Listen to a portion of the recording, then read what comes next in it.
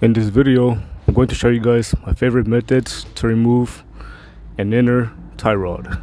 First, I'm going to show you guys some common tools you can use to remove the uh, inner tie rod. The first tool is going to be an adjustable wrench. So as you can see, this adjustable wrench fits perfectly and you can definitely remove the inner tie rod with an adjustable wrench. Next, you can use a pipe wrench. This also works just as well and it bites onto the inner tie rod extremely well. If you don't have any of those tools, you can also get yourself an inner tie rod tool set and that'll work just as well. If you drive a truck, there should be enough space to use a, a pipe wrench or an adjustable wrench to get to the inner tie rod. However, if you drive like an SUV or you have a, passenger vehicle, sometimes it can be pretty tight in there to get to the inner tie rod.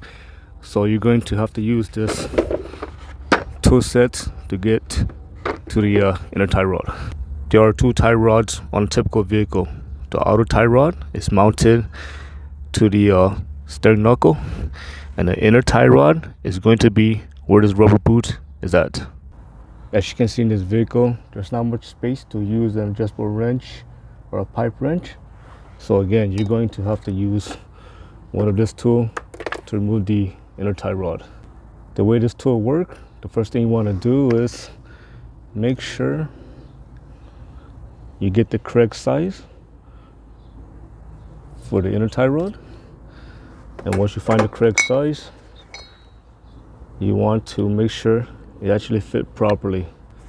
So imagine this inner tie rod is in there. So you take this tool, you place it over here like this. Next you get this tool, place it over, place over like that. So this is how it's going to look like. Once you got that in, you want to twist this part over here to make sure you lock it in place.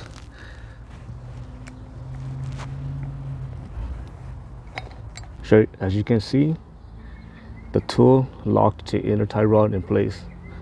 Next thing you want to do, you want to get a half inch extension. You want to use a, a jack stand as support. And then you want to use a half inch breaker bar or a ratchet. And all you have to do is just break loose by going counterclockwise. I hope you found this video useful. As always, thank you for watching and subscribe to Top 5 Auto Repairs.